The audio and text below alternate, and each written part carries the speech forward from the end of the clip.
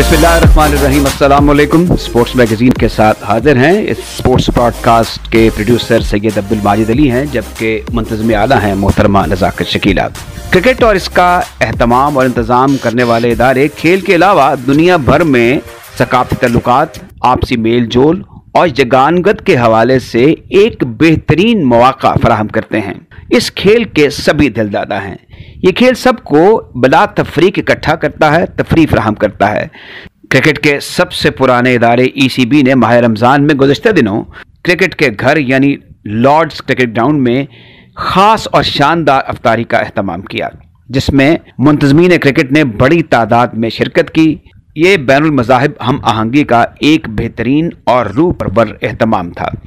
Cricket سے تعلق رکھنے والی کرکٹ کی مایاناز مدہ بیرسٹر مہرین ملک بھی مہمانوں میں شامل تھی جیسا کہ آپ کے علم میں ہے کہ ریڈیو پاکستان کی نشریات دائرہ کار جو ہے وہ اب بین الاقوامی سطح پر ڈیجیٹلائز ہو چکا ہے۔ اسی سہولت کے پیش نظر ہم نے اس انٹرویو کے لیے انگریزی زبان کو ذریعے گفتگو بنایا ہے۔ آئیے ان سے گفتگو کرتے ہیں۔ Dear listener, we now move to London where a unique event took place recently The England and Wales Cricket Board hosted the first ever iftar at the famed Lord's Cricket Ground. It was attended by famous cricketing personalities including players, analysts and writers. Present on the occasion was Barrister Mehreen Malik, a lawyer based in UK. Uh, she is a great cricket enthusiast. She is also an ardent supporter and fan of Pakistani cricket and cricketers. We were able to talk to her about the recent Iftar hosted by ECB and some other issues. Barrister Mehreen, can you please capture for us the atmosphere of uh, the event? What kind of invitees? Were they primarily from Asian origin or they were from different backgrounds? Raja Sab, firstly, thank you so much for having me on your show today. And I wanted to wish all your listeners um, Ramzan Mubarak from here in London. Uh, to address your first question, about this this event um, at Lords. It, it, was it felt historic and it felt significant. Um, it was an absolute honor to be there. It was a truly momentous occasion for me, especially to hear the azan delivered by Hassan Rasul. Uh, recited across the long room at Lords. And it felt very importantly that the sport was making progress towards inclusivity. Um, this event was the ECB's first officially organized iftar, and the location was, you know, as you know, self-admittedly styled the home of cricket, um, a venue, you know, which has been so historic and so beautiful. And so it was really, really wonderful to be there and, and be able to be present for this event. In terms of the um, guests, Rajasab, that were there, there were about, um, I think, 189 guests. And we had the MP Nasha, there was Eba Qureshi, who is the CEO of Fem Games. There was Zara Mohammed, who's the Secretary General of the Muslim Council of Britain. Azim Rafiq was there too. Um, Tom Harrison, who is the ECB Chief Executive, he actually fasted for the day in an attempt to un- better understand Ramzan and the Muslim experience. A particular highlight for me, actually, Rajasab, that day was watching um, Muazzam Rashid. He is the England disability player who spoke through a sign language interpreter.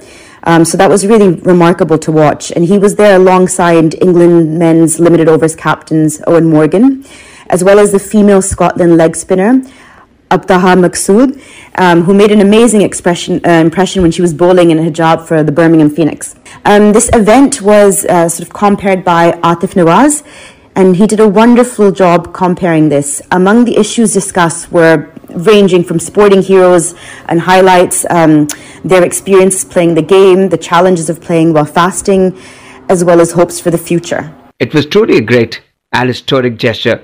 Yes, uh, it definitely was a truly great and historic gesture, and it was the brainchild of the Mina Hussein. Um, she actually works in the technology department at the ECB. And my understanding is that she decided around 2019 that it would be helpful to share such an event with her ECB colleagues to get together and really help them learn about Islam um, and about Ramzan but then it sort of developed to include people of all faiths. Um, and she had the full support of the ECB management team, as well as Kate Middler, who is their head of communication and inclusion in particular. And so, yes, and it was people of all faiths sitting together from varying diverse backgrounds, um, you know, celebrating and uh, opening their fast together. And many people, not of Asian backgrounds or of Muslim backgrounds, um, you know, joined together to have the first kajur, the first date to, to break their fast. And again, again, you know, to have this event in such an iconic venue, which is symbol of the traditions and history of the sport, made it particularly special. Barrister Marine, a comment, a quick comment from you on the presence of our top player in county cricket in England this season, and any specific uh, performance of note you may like to mention. It has been wonderful to see a number of Pakistani cricketers playing county cricket this year. I, in fact, was at Taunton in Somerset, a really beautiful ground, um, recently to watch an electric game between Essex and Somerset, which was my first county game ever.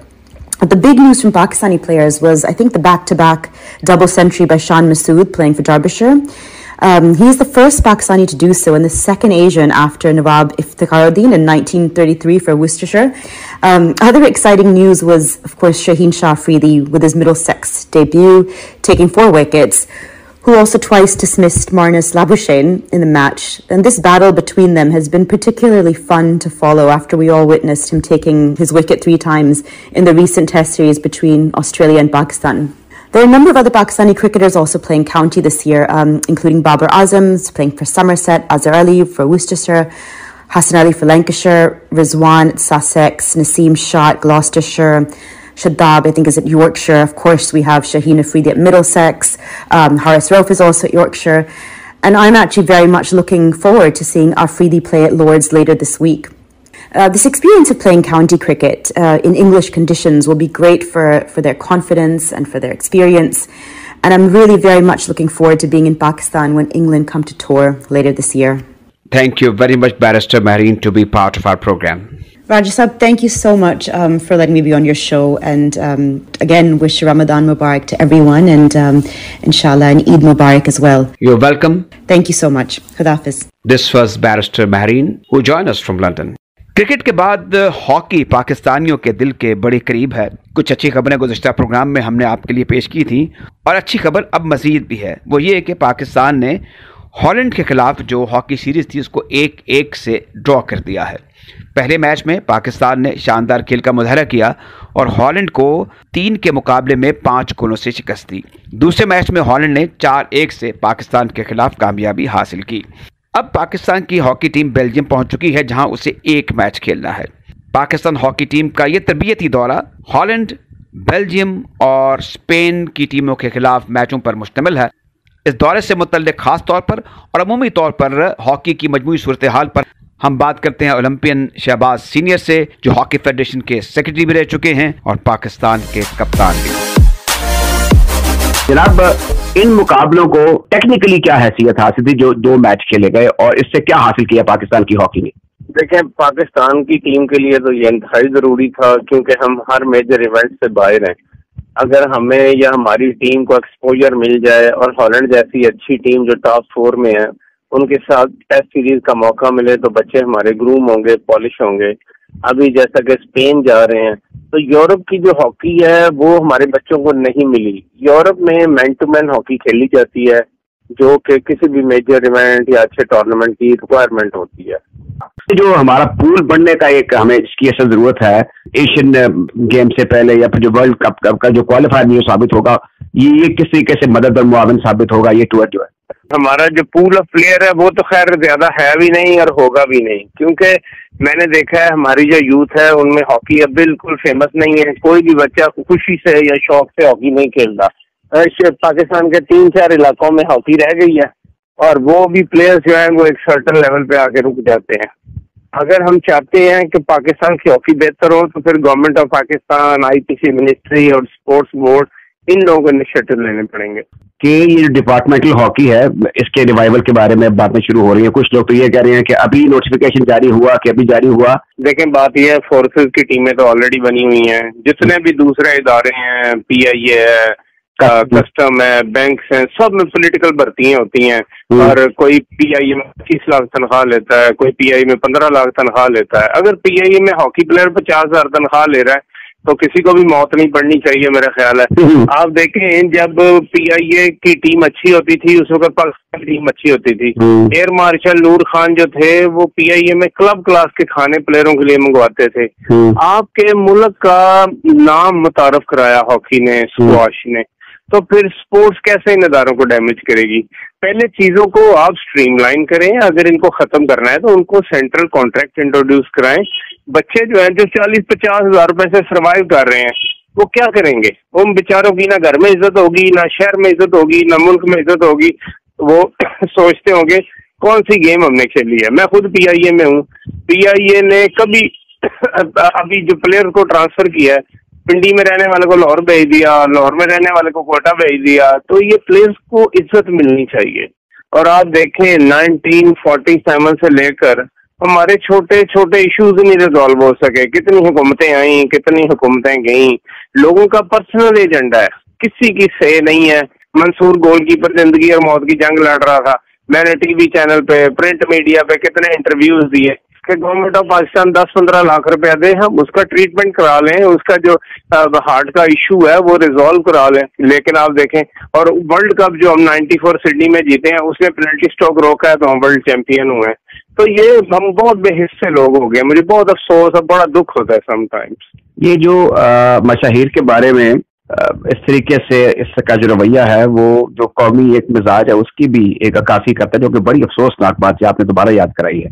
اب اس میں دیکھیں دوسرے countries میں مجھے یہ بتائیں یہ بت بنا دیتے ہیں جناب وہ تو وہ تو چائنا دیکھیں امریکہ دیکھیں کتنا اسپورٹس کے اوپر کام ہو رہا ہے۔ کتنا کام ہو رہا ہے؟ ہمارے کوئی کچھ ہے ہی نہیں۔ آپ نے ایسٹروٹر لگ گئی اس کے جوتے بچے غریب نہیں لے سکتے، اس کی ہاکی نہیں لے سکتے، اس کے اوپر کھیلنے کے لیے پرمیشن نہیں لے سکتے۔ کوئی ایک ایشو تھوڑی پاکستان میں۔ شہباز صاحب؟ راجا صاحب مجھے ایک بات بتائیں۔ ابھی آپ کا جیولن تھرو کا لڑکا گیا وہ ریکارڈ بنا سکتا تھا۔ اس کے اوپر پیچھے پاکستان میں کئی لوگوں نے کہا ہم نے اس کو ٹریننگ ہم نے اس کو یہ کیا۔ اگر آپ اس کی آئٹن بھی ابھی نکالیں اور پاکستان کی عوام کو بتائیں جب وہ ٹوکیو اولمپک گیا تھا تو وہ اس روٹ سے گیا تھا۔ اس کے پاس نہ ٹاپ کوالٹی جوتا ہوگا اس کے پاس نہ ہی پروفیشنل کیئر ملی ہوگی۔ بھائی، اس کو چھ مہینے پہلے آسٹریلیا بھیج دو، چھ مہینے پہلے امریکہ بھیج دو، پاکستان کا نام روشن کر کے آئے۔ پاکستان کا جھنڈا، پاکستان کا قومی ترانہ ٹوکیو میں بجا کے آئے۔ لوگوں کو اپنی اپنی پڑی ہوئی ہے، اپنے فائدوں کی پڑی ہوئی ہے۔ اور ایک دوسرے پہ الزام تراشی شروع کی ہوئی ہیں۔ اور کسی، کوئی بہت کم نیشنلزم مجھے نظر آتا ہے۔ اور بڑوں کو دیکھ کر جو بچے ہمارے ایتھلیٹ ہیں ان میں بھی نیشنلزم کا فقدان ہے میں آپ کو بتاؤں۔ گزشتہ منسٹر جو ہیں وہ یہ کہتی ہوئی پائی گئی کہ یہ ہاکی فیڈریشن جو ہے یہ پچھلا حساب دے تو پھر آگے چلیں گے بھلے یہ بھی کرنے والی بات ہے۔ ایک کرنٹ میں نے تین سال اسی بات پہ ہنستا رہا فہمیدہ مرزا کی بات پہ پچھلا حساب دے۔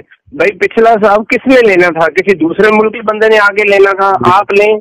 آپ آئی پی سی کے منسٹر آڈٹ والے آپ کے پاس ہیں، پاکستان اسپورٹس بورڈ آپ کے پاس ہے حساب لے کے آگے تو چیزوں کو ٹھیک کرو۔ بچے بچے نے اگر کوئی گلاس توڑ دیا تو ہم آج تمہیں پانی نہیں دیں گے۔ پہلے بتاؤ، کل جو گلاس توڑا تھا، اس کی ریزن کیا ہے؟ تو بہرحال ہماری دعا ہے کہ اللہ تعالیٰ کرے پاکستان کو لوئل مخلص لوگ ملیں۔ آپ سے یہ اس لیے سوال کیا جا سکتا ہے کہ آپ بحثیت سیکرٹری پاکستان ہاکی فیڈریشن بھی کام کر چکے ہیں۔ ابھی جب ہاکی فیڈریشن کے ذمہ داران سے بات ہو رہی تو وہ یہ کہہ رہے تھے کہ اکتوبر میں ایک ٹیم باہر سے آ رہی ہے بڑی ٹیم اس کے علاوہ پاکستان سپر لیگ کے طرز پر اس پیٹرن پر ایک لیگ کرانے کے بھی انتظامات کیے جا رہے ہیں۔ اب یہ وشفل تھنکنگ ہے یا آپ سمجھتے ہیں کہ میں کہتا ہوں راجا صاحب مجھے ہاکی کے اندر پینتیس سال ہو گئے باہر سے ایک ٹیم نہ آئے چھ ٹیمیں بلا لیں۔ آپ ایک ہاکی لیگ نہ کرائیں دس ہاکی لیگیں کرا لیں۔ بات یہ ہے کہ ہم آنےسٹی کہاں سے لائیں گے؟ بات یہ ہے کہ ہم اپنے جو ینگ بچے ہیں، ان کو کیسے انٹروڈیوس کرائیں گے؟ آپ پینتیس پینتیس سال کے لوگوں کو ٹیم میں رکھ رہے ہیں، انہی کو کل کو لیگ میں لائیں گے، آپ کے جو دائیں بائیں جاننے والے دوست ہیں، ان کو آپ کوچز رکھیں گے، وہ اپنی اکیڈمی کے لوگوں کو ٹیم میں رکھیں گے۔ ان سے کوئی فائدہ نہیں ہونا۔ فائدہ ہوتا ہے جب آپ کاموں میں ایمانداری کرتے ہیں، کیونکہ جب ہم ایمانداری کرتے ہیں تو اللہ کاموں میں پھر برکت ڈالتا ہے۔ بندہ بندے کے اندر اتنی خوبی نہیں ہوتی کہ وہ ہر کام اچھا ہی کر لے ہر وقت۔ یہ بالکل آپ نے درست کہا کہ جو سنسیئرٹی آف پرپز ہے شہباز سینئر صاحب وہ بہت ضروری ہے۔ بہت بہت شکریہ جناب۔ یہ تھے پاکستان ہاکی کے سابق کپتان شہباز سینئر۔ سابین اکرام دوبارہ اب ہم کرکٹ کی بات کرتے ہیں۔ آپ دیکھتے ہوں گے کہ کھیل کے دوران مختلف بین الاقوامی اداروں مقامی اداروں کے ویلفیئر اور ہیلتھ پروگرام یا سوشل پروگرام کے حوالے سے بھی پبلک کو کرکٹ کے ذریعے آگاہی فراہم کی جاتی ہے۔ اس کے ساتھ ساتھ ایک اور اہم چیز ہے، جو کرکٹ کا کھیل ہے یا جو کرکٹ کو چلانے والے ادارے ہیں، جیسے پاکستان کرکٹ بورڈ ہے ہمارے ملک میں، یہ کھلاڑیوں کی ویلفیئر کے حوالے سے بھی پروگرام ترتیب دیتا رہتا ہے۔ اور اس ضمن میں بینیولنٹ فنڈ اور پینشن کی سہولت بھی موجود ہے۔ بڑا ضروری ہے کہ جو پینشن کے حوالے سے پاکستان کرکٹ بورڈ کی پالیسی ہے، اس میں بہتری کے حوالے سے کچھ ترامیم کی جائیں۔ یہ ضرور جانیں گے کہ اس وقت صورتحال کیا ہے اور تقاضے کیا ہیں۔ ہم بات کر رہے ہیں سابق ٹیسٹ کرکٹر جناب اظہر خان سے۔ اظہر خان صاحب، کیا جو سائز ہے پینشن کا، وہ ایج وائز ہمارے اسٹینڈرڈ آف لیونگ اور پر کیپٹا کو دیکھتے ہوئے کوئی مطابقت رکھتا ہے؟ ویل صاحب، بہت شکریہ آپ کا آپ کا بہت ہی امپورٹنٹ اور بہت ہی سچنگ ایشو جو ہے، اس کو آج آپ اپنی بحث کا حصہ بنایا ہے۔ یہ میرا خیال ہے ٹو تھاؤزینڈ سکس میں یہ ایک شروع ہوا تھا، جس میں ایک سجیشن آئی تھی کہ جی جتنے بھی ٹیسٹ کرکٹرز ہیں، وہ اگر سات سال کے ہو گئے ہیں تو ان کو ویلفیئر فنڈ یا ان کو پینشن دی جائے تو آئی تھنک کہ یہ میرا خیال ہے نسیم اشرف صاحب کا زمانہ تھا جس نے اس کو باقاعدہ پالیسی بنی، پھر وہ بورڈ آف گورنر سے منظور ہوا اور اس کی پھر امپلیمنٹیشن اور ایگزیکشن ہوئی۔ اب اس میں انہوں نے جو سلسلہ یہ رکھا تھا کہ اگر ایک کرکٹر ہے، راج صاحب، آپ بڑا قریبی جانتے ہیں۔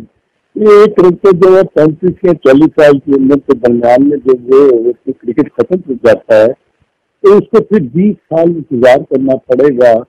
اور اگر وہ ٹیسٹ کرکٹ کھیلا ہے، تو پھر وہ ایلیجیبل ہوگا ویلفیئر فنڈ کے لیے یا پینشن کے لیے۔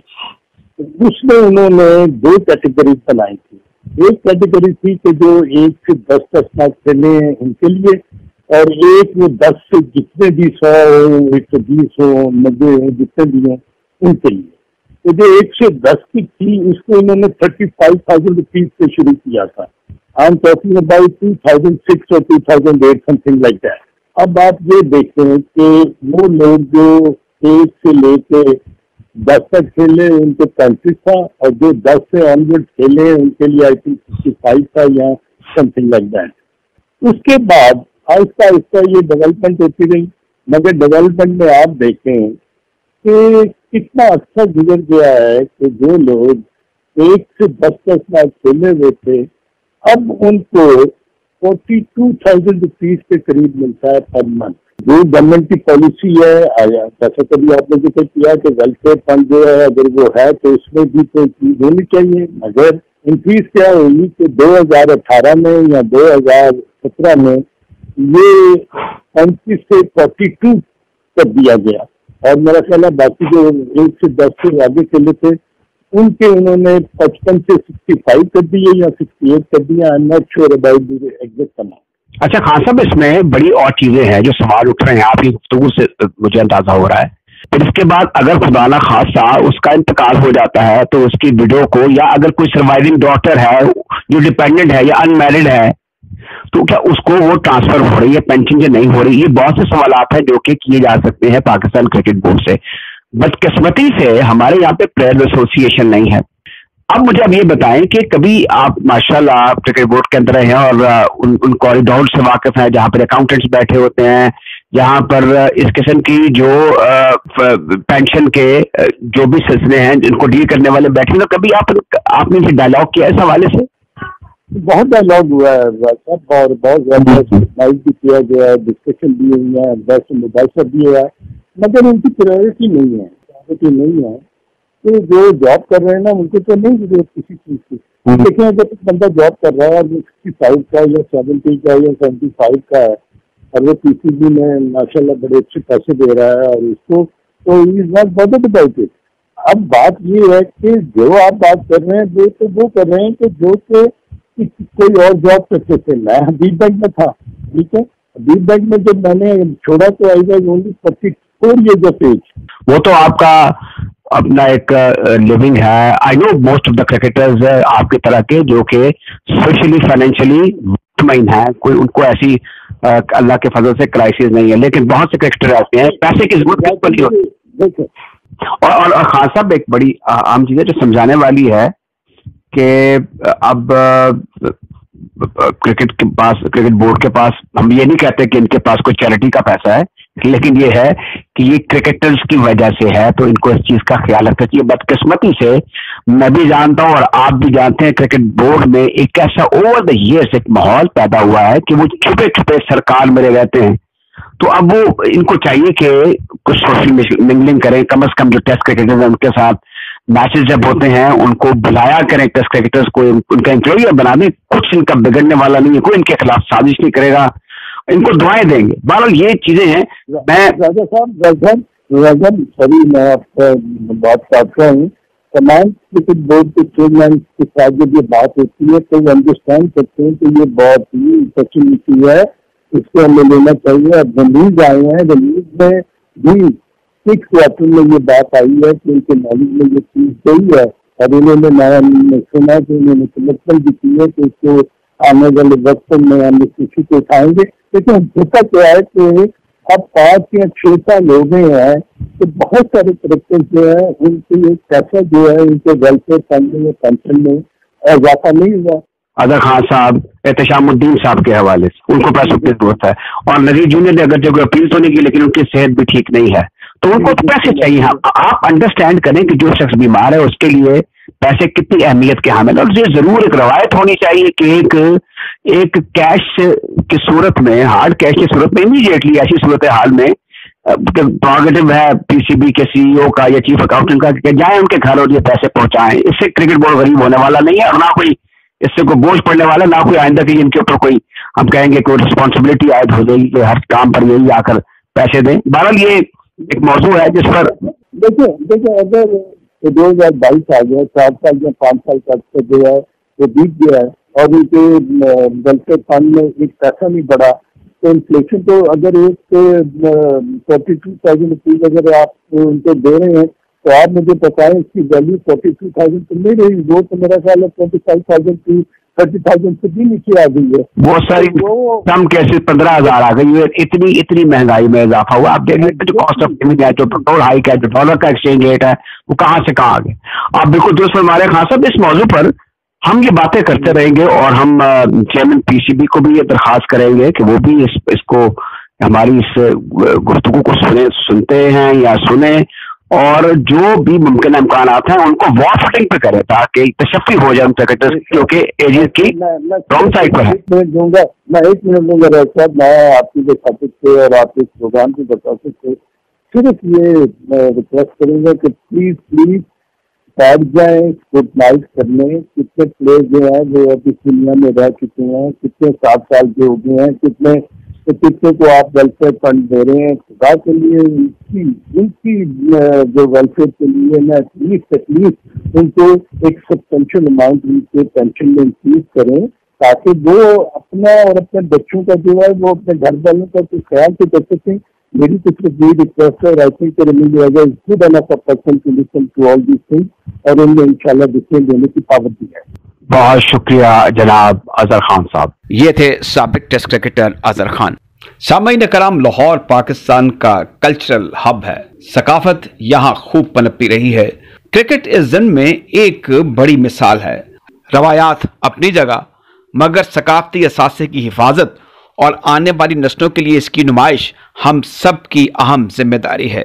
مگر بدقسمتی سے اس ضمن میں ہم نے ہر سطح پر کوتاہی برتی۔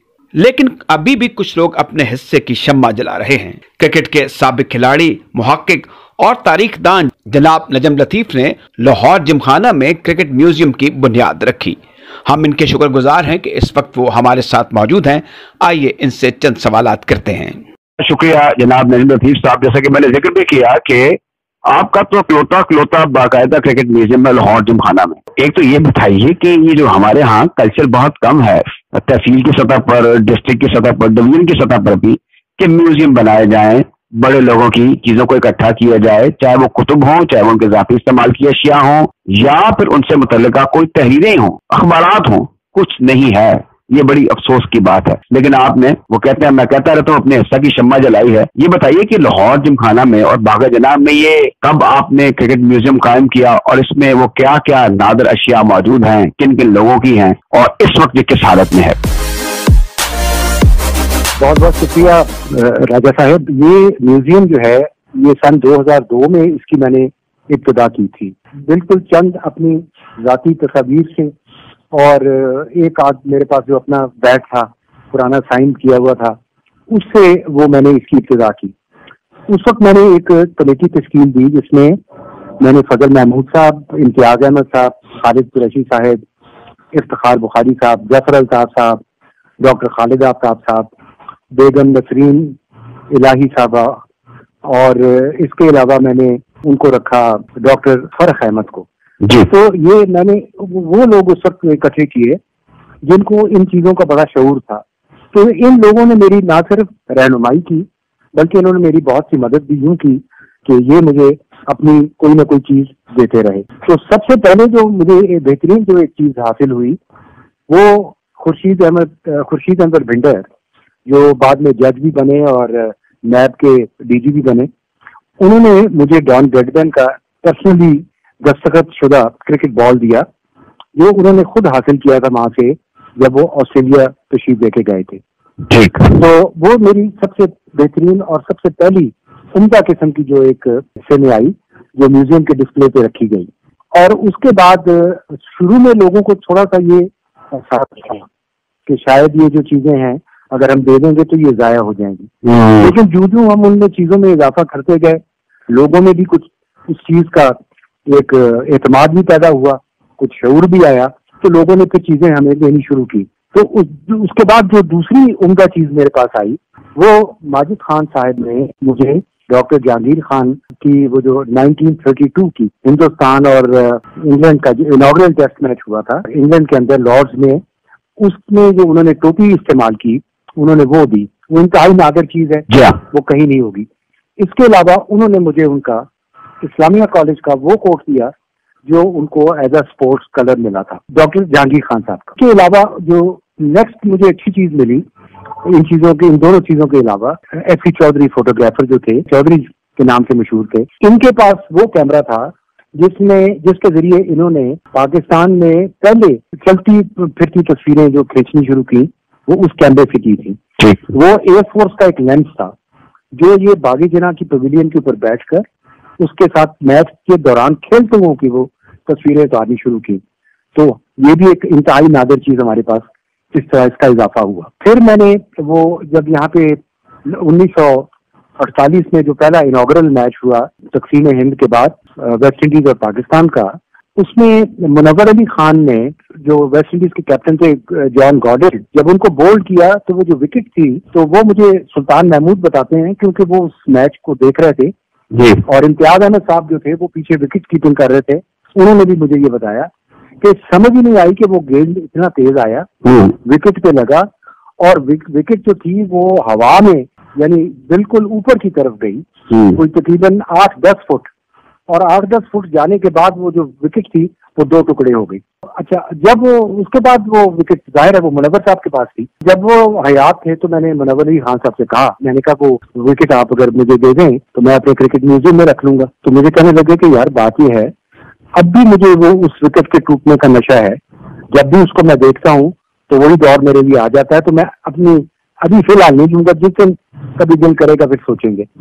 پھر ان کا انتقال ہو گیا، تو پھر میں بعد میں وہ وکٹ مجھے ان کی بیگم نے دی۔ تو وہ وکٹ جو ہے، وہ بھی اب میں اس پہ اب دوبارہ جبکہ میوزیم کھڑا کیا جا رہا ہے نا، تو پھر اس میں وہ بھی ڈسپلے پہ آ جائے گی۔ آپ نے اتنا تجسس پیدا کر دیا ہے اور اتنی یادگار چیزیں یہ تو سب کانٹینٹ میں کیا دنیا میں ان کی خاص کشش ہوگی جو لوگ ٹورسٹ ہیں، ان کے لیے بھی، جو شائقین کرکٹ ہیں، جو ہسٹورین ہیں، ان کے لیے بھی۔ آپ بہت بڑا کام کر رہے ہیں اور میری بھی دعا ہے اور سامعین بھی یہ خواہش کر رہے ہوں گے کہ آپ اس کام کو لے کے آگے چلتے جائیں۔